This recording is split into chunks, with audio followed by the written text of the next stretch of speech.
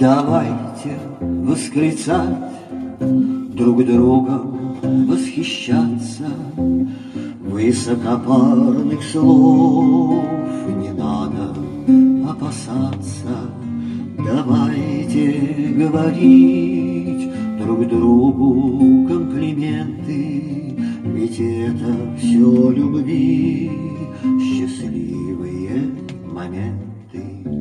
Давайте горевать и плакать откровенно, То вместе, то побрось, а то попеременно.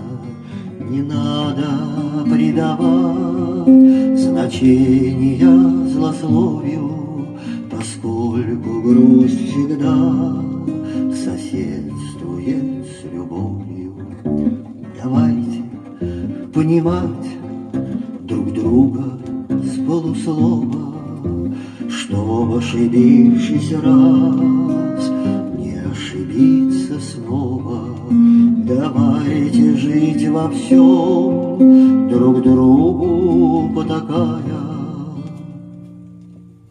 Тем более, что жизнь короткая.